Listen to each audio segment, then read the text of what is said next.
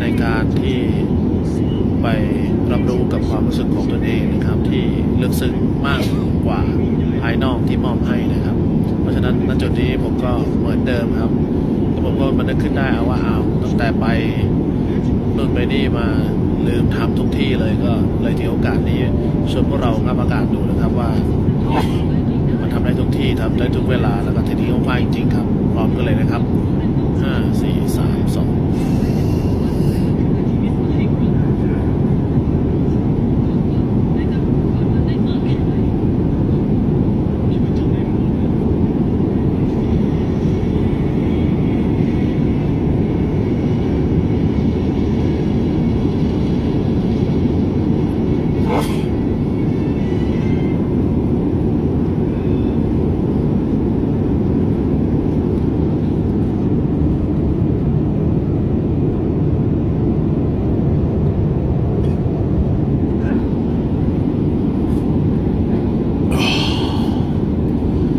ก็